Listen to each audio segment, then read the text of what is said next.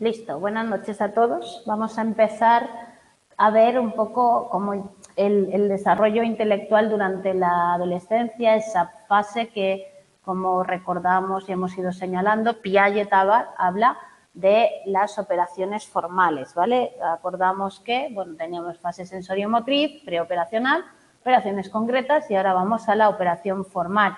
En este punto es donde nuestra mente se vuelve más abstracta, con más capacidad de ver perspectivas diferentes, con un pensamiento hipotético deductivo, ¿vale? Que modifica considerablemente lo que veníamos haciendo. Por lo tanto, vamos a ver cómo empieza el estudio del pensamiento formal, cómo, en qué, qué características tiene ese tipo de pensamiento y luego un poco la revisión crítica que se ha hecho a las propuestas que hizo Piaget en su momento.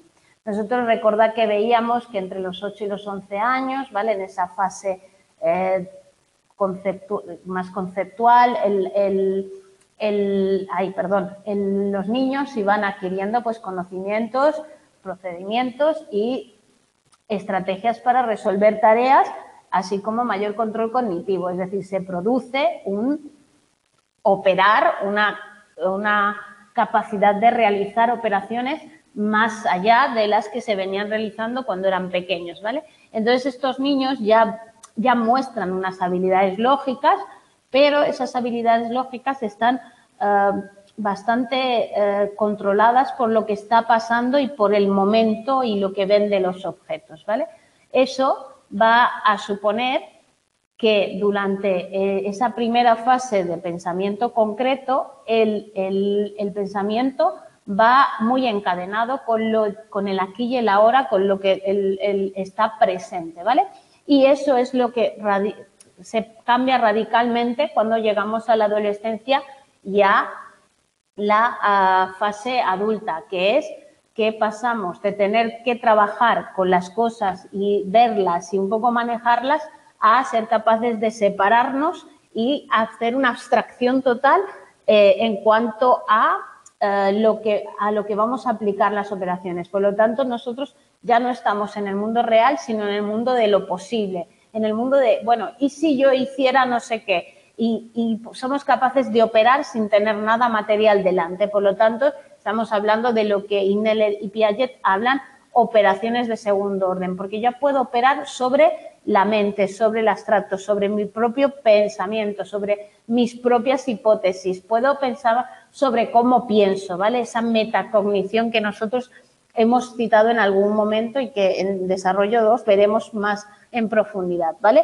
Entonces vemos que eh, en la mente, como decíamos, se producen cambios importantes en el área prefrontal del cerebro y uno de esos cambios importantes es que hay más producción de conexiones, pero también hay una poda neuronal que hace que esas conexiones que no se han utilizado o que no servían en un momento dado vayan cortándose y desapareciendo y también la mielinización que hace que esas conexiones nerviosas sean mucho más rápidas y eficaces, ¿vale? Y todo eso viene, se refleja en una capacidad de pensamiento más rápido, más abstracto, con más capacidad para activar pues, las funciones ejecutivas de control, ¿vale? Y todo el tema del pensamiento más flexible, más abierto, eh, con otras visiones, con otras perspectivas, etcétera, etcétera. Entonces, por ahí va esa idea de que a los adolescentes les encanta filosofar. No sé si tenéis eh, interacción con adolescentes en vuestra vida y tal, pero les encanta buscar, pues mira, es que yo he estado pensando en si hacemos esto y tal, y, la, y, la, y aunque sean no muy buenos estudiantes, llamémoslo así, de filosofía, les encanta la filosofía, pensar, alternativas, cosas diferentes y tal, ¿vale? Entonces ahí tenemos, es porque empieza esa capacidad de eh, formular teorías y eh, teorías más allá de lo que se ve, ¿vale? Y comprobarlas o buscar ese, eh, esa, realidad, hasta dónde son reales, hasta dónde no es así y tal, que se llama pues eso Merlin Donald como cultura teórica, ¿no? Ese periodo en el cual pues uno va buscando cómo puede hacer, cuál es eh, en los avances, ¿no? El, pensar de manera diferente, tal, que se relacionaría con una parte en la cual la humanidad llegó a desarrollar pues, formas y maneras diferentes de generar aprendizaje y conocimiento.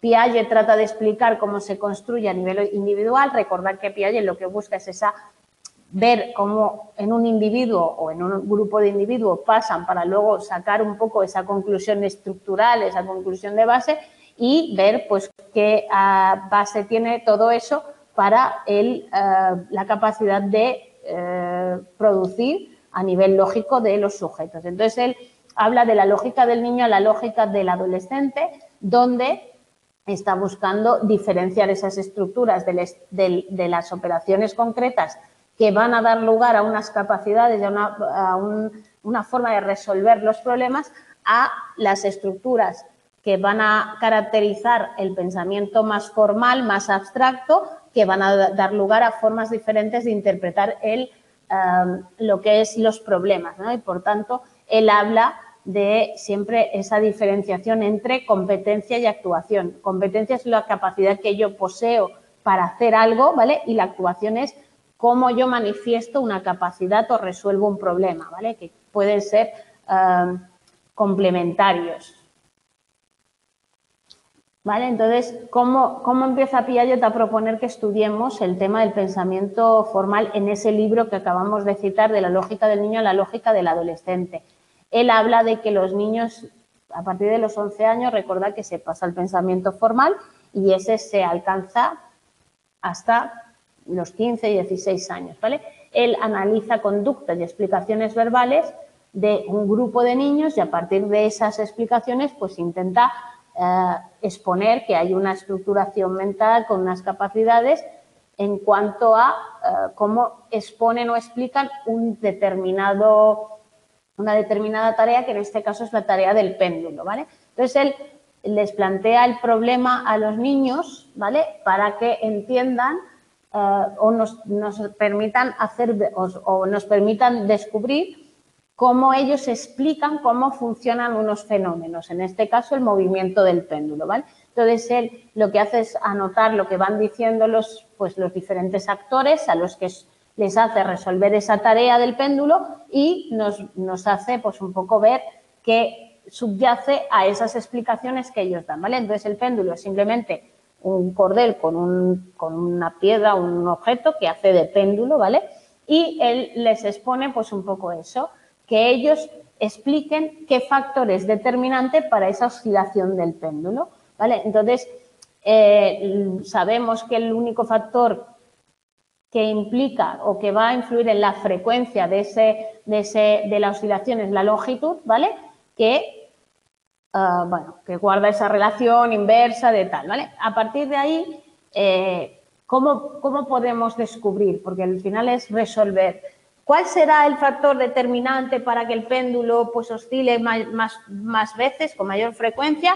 Entonces ahí, para resolver eso, eh, hay que realizar una, cierta, una serie de operaciones. Y entonces lo que hace es observar cómo eh, esos chavales de más o menos edad son capaces de afrontar esa, eh, esa actividad, esa tarea, dándose cuenta de que tienen que trabajar de una forma sistemática, donde ya vendría una organización ¿no? a la hora de poder llegar a una respuesta. Porque claro, si yo tengo que valorar un, dos, tres, cuatro factores, ¿no? la longitud de la cuerda, el peso de los componentes, la altura con la que la lanzo, la fuerza con la que la lanzo, ¿vale? Pues para poder de aislar un, un factor y saber cuál es el que produce, pues hay que realizar una serie de operaciones. Entonces, él habla de diferentes formas de eh, razonar en función de los temas que se, que se estén utilizando. Si se utilizan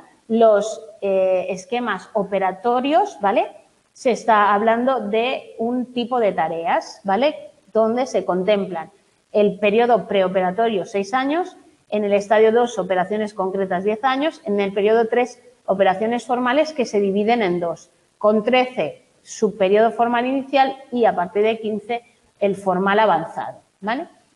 Entonces él ve cómo cuál es la característica de cada uno de esos sujetos a la hora de intentar resolver el tema de eh, cómo se realiza o cuál es la explicación de esa tarea que les ha propuesto, que es el péndulo, ¿vale? Entonces, el niño de seis años se centra en su propia acción. ¿Qué hace?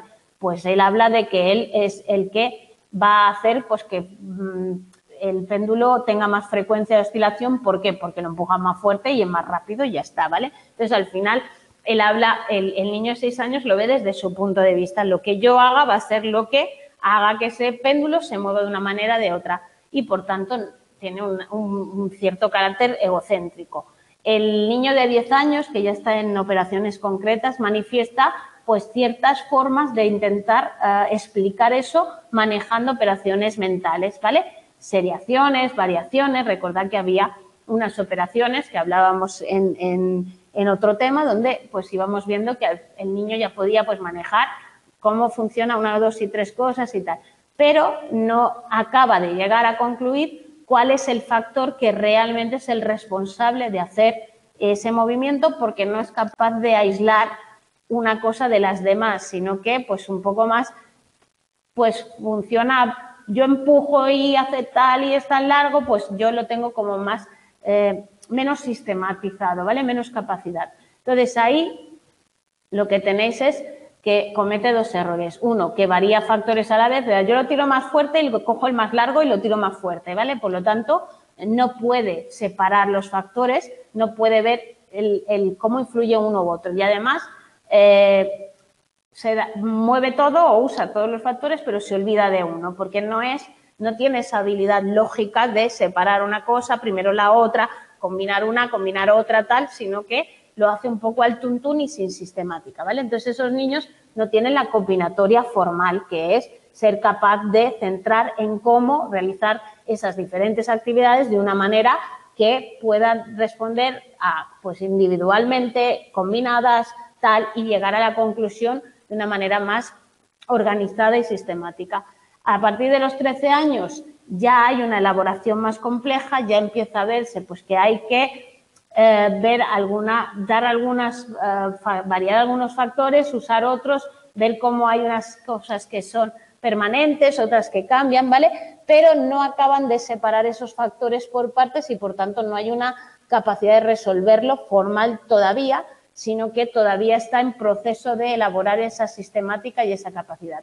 Y a partir de los 15, que es cuando ya está plenamente eh, alcanzada esa fase de operaciones formales, eh, ya hay un razonamiento más complejo en el cual esa, eh, nos permite pues, valorar no solo en lo que es real, sino en lo posible y, por tanto, separar todos los factores ¿vale? y ir uno a uno viendo cómo van y ir excluyendo si los otros afectan o no afectan de una manera sistemática.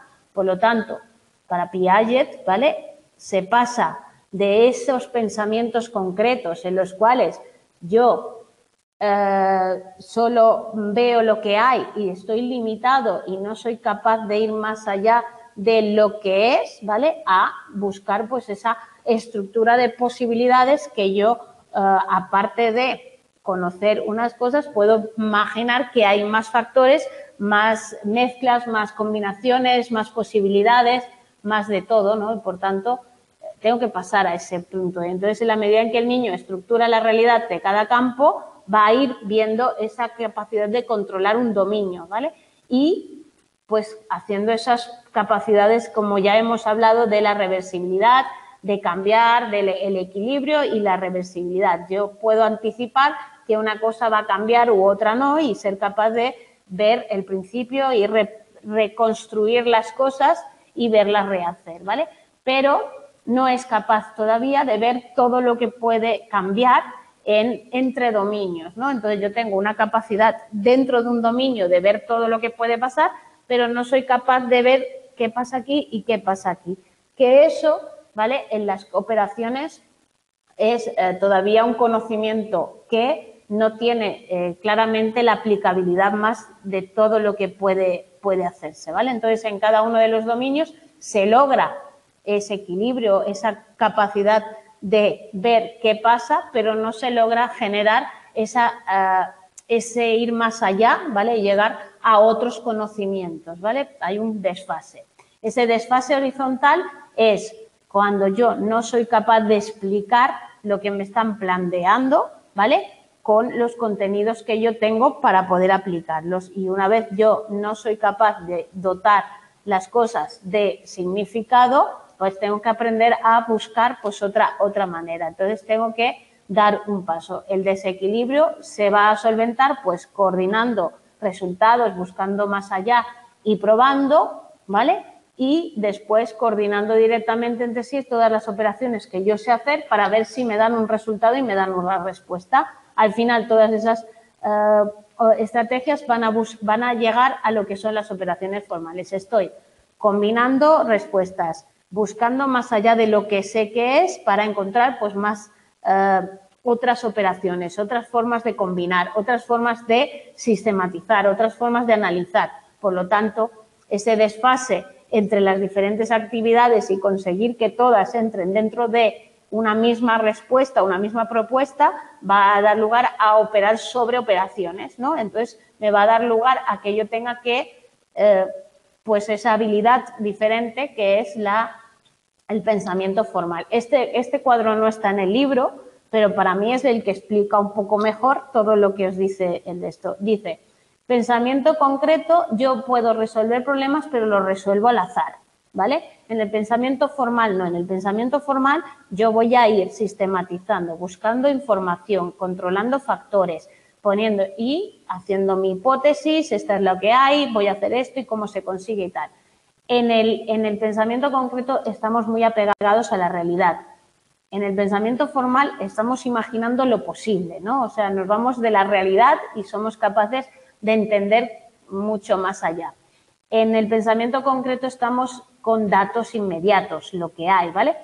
En el pensamiento formal estamos incorporando conocimientos previos que ya hemos visto, cosas que nos imaginamos por lo posible, etcétera en cuanto al pensamiento actúa sobre los objetos, mientras que el formal ya actúa sobre las, todo el razonamiento verbal, porque ya estamos trabajando sobre lo que hemos supuesto, hemos creado, hemos pensado y por tanto vamos más allá de lo que realmente son los objetos. En el pensamiento concreto se combinan los elementos con combinaciones, ¿no? Yo si tengo que resolver el problema del péndulo estoy combinando mi fuerza con el hilo y veo tal, ¿vale? En el pensamiento formal somos capaces de separar factores y de ver cómo cada uno tiene su propia eh, margen de, modificar las cosas, de cambiar, de hacer las cosas, ¿vale? En el multiplicaciones, en el pensamiento concreto, multiplicación de ensayos, es decir, yo voy haciendo y voy probando y voy intentando y voy tal, en el otro no, en el otro vamos a probar una cosa ¿vale? No funciona, vamos a probar otra, no funciona, ¿vale? Pero en, el pensamiento infantil es como vamos a hacer varias cosas. Si pensáis en un niño de nueve años todavía por ahí intentando, lo va a hacer. El pensamiento concreto tenía que decir lógica de clases, ¿no? Que era todo mucho más estructurado, más tal. El, el pensamiento formal es proposicional. Va a haber verdades, va a haber falsedades, pero se va haciendo verbalmente. Y el pensamiento concreto es empírico inductivo, es decir, parto de lo que hay y saco conclusiones y el pensamiento formal es hipotético deductivo. Yo planteo la hipótesis, como hemos dicho al principio, y pruebo la realidad en, esa, en ese aislamiento de factores y tal, y busco la deducción de ese, de ese planteamiento. Por lo tanto, eh, el pensamiento formal, vale, primero las estructuras concretas no estaban coordinadas entre sí, no son generalizables a otros contenidos y su carácter era concreto, limitado a, la aquí y a la hora. Mientras que en el pensamiento formal, según Piaget y Neller, hablamos de cambio intelectual, tanto cualitativo como estructural, donde los sujetos se liberan de lo inmediato, de lo que vemos aquí, y somos capaces de pensar más allá. En los 11-12 empieza a incidir, a ser la etapa incipiente, a los 14-15 ya está avanzada y hablan de, uno, ser capaz de ver las propiedades generales o funcionales de ese pensamiento, estamos hablando de orientaciones del sujeto en este periodo, y luego las características estructurales que van a utilizar, según ellos, el mensaje o el lenguaje lógico matemático para dar cuenta de todo lo que tiene que ver con lo cognitivo. Porque Piaget lo que habla es de ese pensamiento formal, cuando él habla del pensamiento formal, habla de que nosotros tenemos una cierta estructuración lógica que él señala que funciona como la lógica, ¿vale? lo que vosotros podéis conocer como lógica, ¿no? Aplicación de una serie de normas, reglas, que son las que nos permiten analizar la realidad y sacar conclusiones y tal, ¿vale? Y entonces, lo que dicen estos auto, lo que dice Piaget y Meller, habla de, esa eh, lógica matemática y habla de que nuestra mente tiene esa capacidad o llega a esa capacidad, luego veremos las críticas. Eh, vale, él habla de ese, lo real es un subconjunto de lo posible, es decir, antes lo que existía era lo real. Ahora sabemos que hay un montón de cosas que existen y entre ellas está la realidad, ¿vale? Por lo tanto, yo puedo poner un montón de hipótesis encima de la mesa sobre algo y luego puedo ver hasta dónde sería o no eh, posible, ¿vale? Pero yo puedo crear y, el, y, hasta dónde o no se da en la realidad, perdón, ¿vale? Entonces, posible, muchísimas cosas. Lo real, una parte de eso posible. El hipotético deductivo ya lo hemos explicado. Yo ah, hago una hipótesis, ¿vale? Con un enunciado verbal y a partir de ahí puedo formular explicaciones de esa hipótesis. Puedo encontrar si hay una realidad que la, que la apoya o la refuta. Incluso puedo cambiar y reformular hipótesis y ver si se verifican o no etcétera. Por lo tanto, voy de mi idea general, de lo que yo pienso o yo establezco, a, deducir, de ella, ¿vale? Entonces, ahí tenemos que los adolescentes del periodo son capaces de descartar mentalmente la hipótesis más simple y primitiva, cosa que los niños no pueden. Recuerda que ellos tienen que manejar información que refuerce o no esa conducta, esa, perdón, esa hipótesis, pero tienen que verlo y tienen que primero manejan la información para ver si cuadra y tal, los, adolescentes ya pueden cambiarla.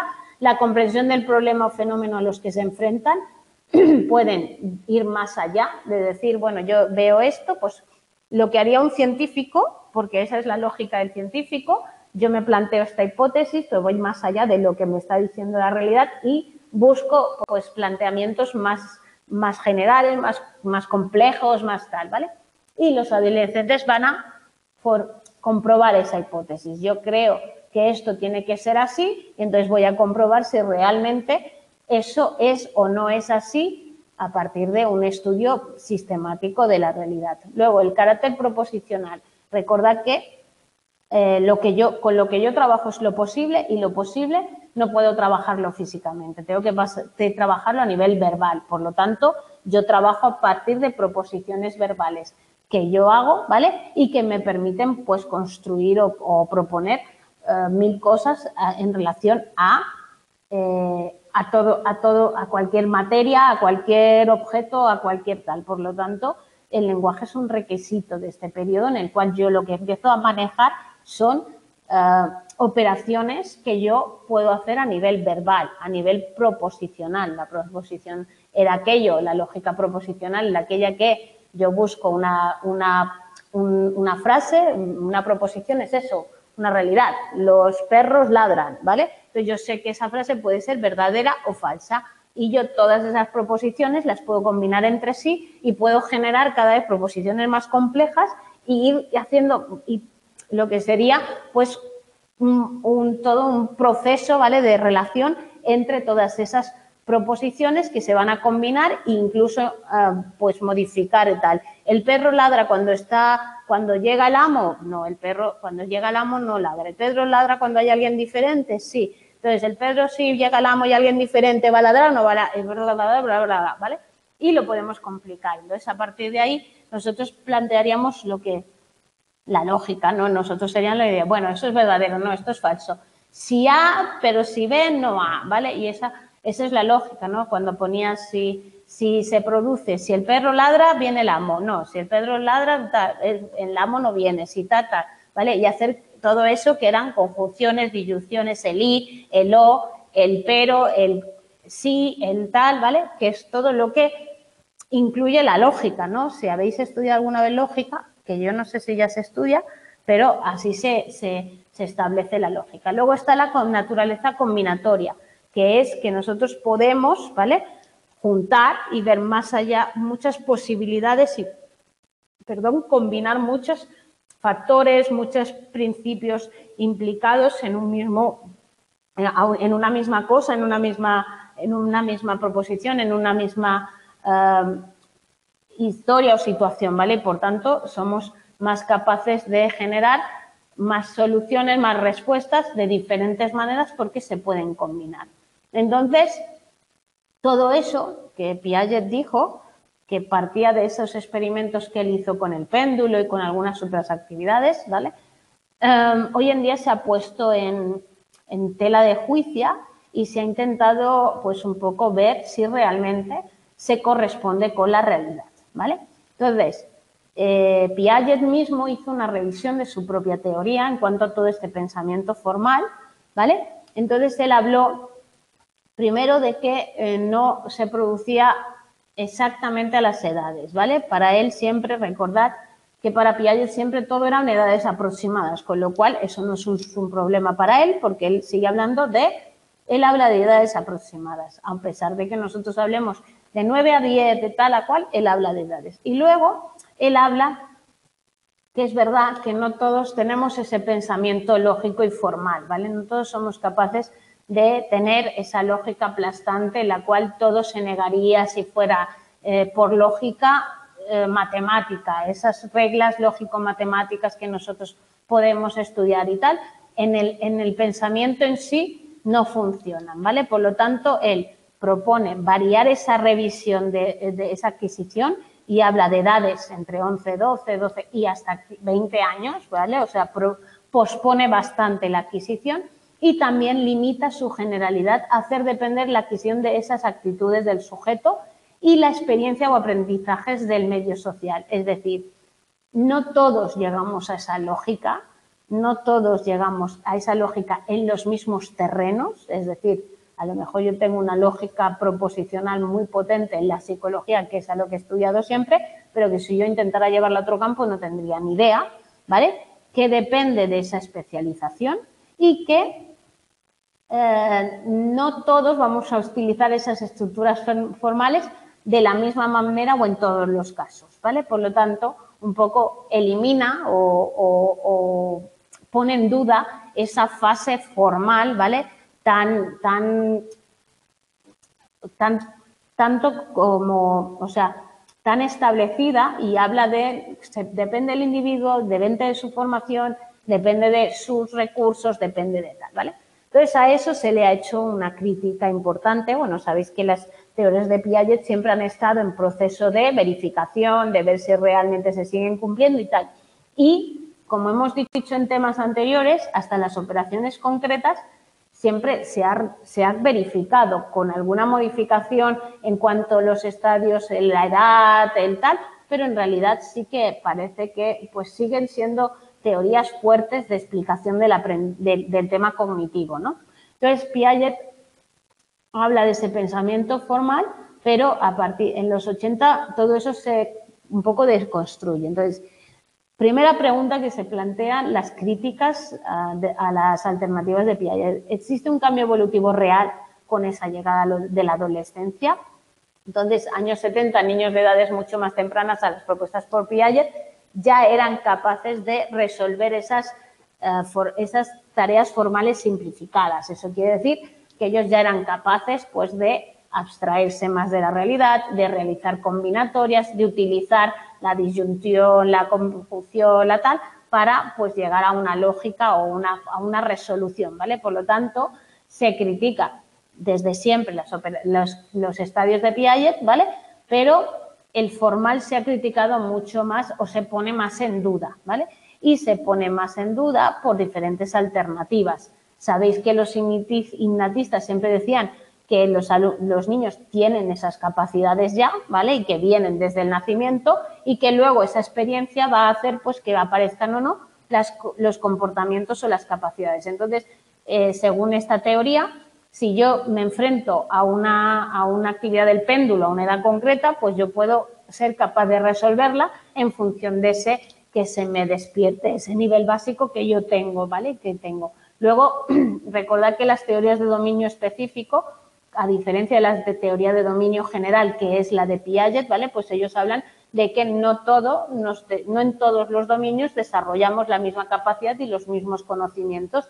Por lo tanto, según esta teoría, habría pues algunos mecanismos funcionales que podrían irse desarrollando de una manera más adecuada o más concreta por la evolución propia de la especie filogenética, ¿vale? Por lo tanto, pues esos factores vendrían pues a adquirirse antes. Luego hay esa idea de que ambos, tanto la innatista como la teoría de dominios, producen, eh, ¿vale? Se van, los cambios se van dando por acumulación de conocimiento. Al final, nosotros vamos produciendo el desarrollo de la cognición a partir de, pues, esas eh, interacciones con el entorno que nos llevan a, pues, poder eh, tener o que aparezcan, que surjan nuestras capacidades y estructuras cognitivas. Y estos cambios, ¿vale? Son cambios cuantitativos. Nosotros vamos mejorando progresivamente en esas, en esas capacidades y en esas habilidades. Luego, los cambios en el pensamiento que se producen con la llegada de la adolescencia son cualitativos y estructurales, como decía Piaget, o no, ¿vale? Entonces ahí dicen que se produce un cambio cualitativo porque parece que hay unos nuevos pensamientos, ¿vale? Y unas formas de eh, combinar o de resolver, asociar las, respuestas, pero no, no están de acuerdo en esos cambios estructurales, ¿vale? Que habla Piaget, que serían los eh, responsables de esos, de esos de los responsables de esos cambios, ¿vale? Es decir, no habría un cambio estructural. Entonces, según las críticas a Piaget y tal, a los 11, 12 años los niños pueden tener capacidad de ya resolver problemas cognitivos, ¿vale?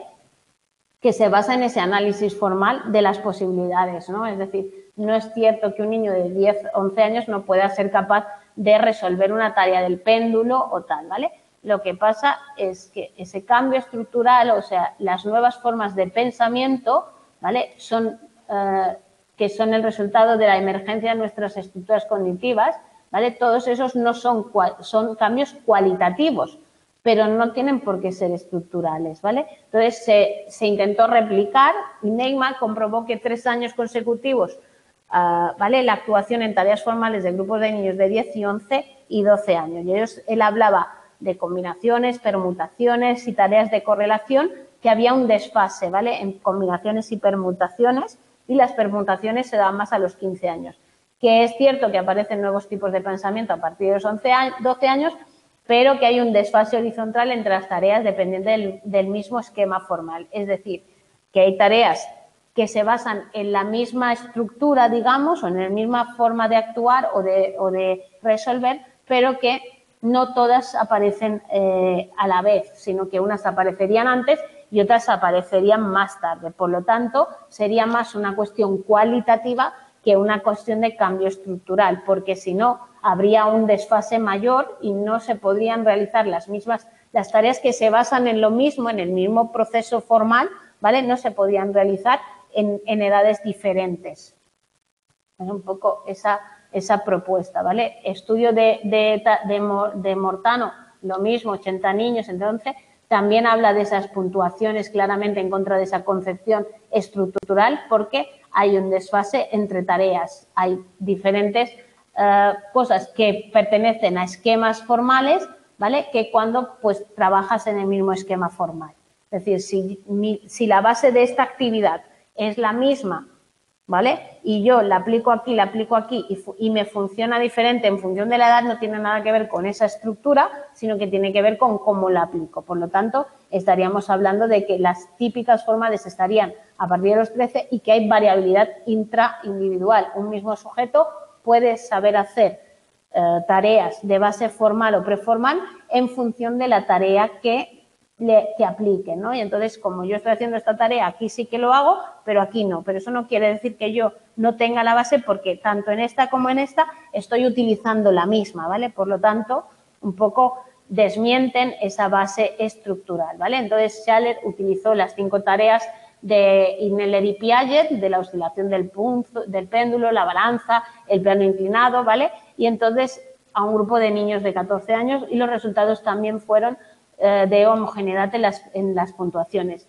Todos estos estudios lo que han hecho es combinar gente de edades diferentes con diferentes materiales y procedimientos diversos, con lo cual, como podéis imaginar, la comparación entre ellas es un poco complicada. Sager, por su parte, hizo un procedimiento de lápiz y papel, ¿vale? Él presentaba instrucciones de tarea por escrito y los sujetos tenían que responder en la misma modalidad de escribir, lo cual hace que todos los sujetos estén descodificando y haciendo la misma actividad y, por tanto, se está sistematizando la evaluación, cosa que se echa en cara a los trabajos anteriores porque no permitían, porque eran diferentes. O sea, si, si tú usas una prueba para medir una cosa y yo uso otra y tú dices, bueno, es que a mí la prueba me sale así y a mí me sale así, pero es que no hemos hecho lo mismo. Entonces no podemos saber si realmente es un problema de la estructura o de la prueba o de qué. Entonces estos datos que, que aportaron no son concluyentes y no permiten verificar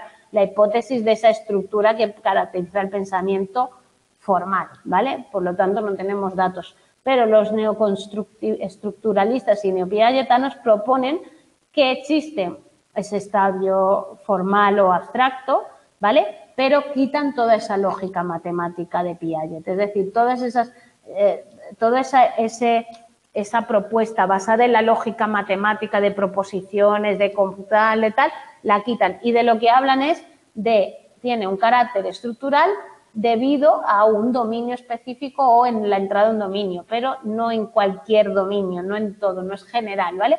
Y hablan ese y introducen el tema del procesamiento de la información, incluyendo el tema de la capacidad de cada uno con su memoria operativa, su eh, capacidad de manejar la información, etcétera, etcétera, ¿vale? Los neapilladietanos los veremos, eh, los desarrollaremos, la idea de los neapilladietanos el curso que viene en desarrollo, en desarrollo 2, ¿vale? Es posible explicar esa generalización y consistencia que plantean los tal, los, todos los objetos formales. Entonces, Gray, desde esa teoría, propone dos enfoques, ¿vale? Principales para hablar de, ese problema que tenemos de generalización y consistencia, ¿vale? Él habla de un conocimiento exógeno y un conocimiento endógeno. Todo el conocimiento basado en lo que el sujeto vive externo al sujeto, ¿vale? Sería exógeno y todo lo que se basa en el propio conocimiento del sujeto sería el conocimiento endógeno, ¿vale?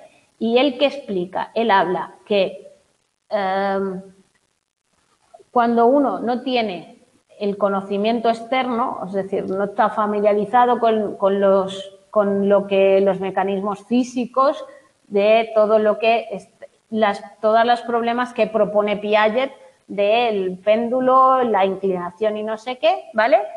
Utilizan en el, utilizados en ese estudio el pensamiento formal en tareas como todo lo que hemos dicho, tal, eh, pues la familiaridad no siempre produce esos efectos y por tanto, ¿vale? Si nosotros simplificamos esa tarea, ¿vale? Hay quien sigue mostrando dificultades en el pensamiento formal. Eso quiere decir que si yo no conozco la tarea o no la manejo, pues eh, finalmente no tengo conocimiento externo de la tarea y por tanto tengo dificultades en poder manejarla, ¿vale? Entonces ahí tenéis como eh, una tarea que se llama la teoría de selección de Watson. La teoría de selección de Watson también la veremos en desarrollo 2, pero lo que hace la teoría de, de selección de Watson es estropear toda la propuesta de Piaget, ¿vale? porque en, ese, en esa tarea lo que se hace es poner a personas, de hecho es, es, uno de los PECs que nos proponía el equipo docente hasta ahora de, desarrollo 2, en el cual tú pones a las personas, a un, grupo de, a, un grupo de personas, a realizar una tarea que se basa en la lógica formal pura y dura, ¿vale? Eh, con eh, un nivel alto de abstracción, es decir, no, no no, no son, es un ejemplo de si A, entonces B y no sé qué, ¿vale? Y entonces te das cuenta de que ese razonamiento formal deductivo del que habla Piaget y eh, raramente se produce, ¿vale? Pero si eh, tú les pones ese mismo ejemplo, ese mismo caso, ese mismo problema con, una bicicleta y un niño y juegas con las variables familiares, ¿vale? Eh, hay gente que mejora, es decir, mejora la solución del problema, pero sigue habiendo dificultades para utilizar ese pensamiento formal, ¿vale? Y eso es lo que explican aquí. Lo que explican es eso, que en teoría la familiaridad del, contexto de lo que vamos a trabajar tiene que hacer que se resuelva más fácilmente esa tarea, pero sin embargo eso sigue, sigue, sin, eh, sigue sin poderse realizar de manera tan fácil, ¿vale? Y sigue habiendo dudas de que todos tengamos esa capacidad de pensamiento formal a pesar de conocimiento. Y luego, ese conocimiento interno endógeno se refiere a ese carácter adaptativo de las propias estructuras formales de Piaget, ¿vale? Y entonces, al final es hasta dónde esa lógica formal nos permite adaptarnos a los entornos, ¿vale? Entonces, em, de ahí que, no, tenga, no tiene sentido. Es decir, vamos a ver, yo lo que quiero que, que, que entenda, que, que os quede muy claro es lo que es la lógica formal, ¿vale? La lógica formal es la lógica pura y dura, que no sé si habéis estudiado en filosofía, en tal, que era pues la duda, la negación, el tal, ¿vale? Y entonces yo en las, en las diapositivas anteriores tenía un ejemplo donde decía, eh, proposición, los caballos están en, trotan por el, por el, por el monte, ¿vale? Ah, Negación, los caballos no trotan. Eh, negación o combinación, los caballos negros y blancos trotan por el bosque. Los caballos negros y o los caballos negros y blancos trotan. Los caballos negros y, perdón, los caballos negros o los caballos blancos trotan por el bosque. Solo los caballos tal, tal, solo tal, ¿vale? Entonces, con esa lógica tan aplastante, tan matemática, porque es así, ¿vale?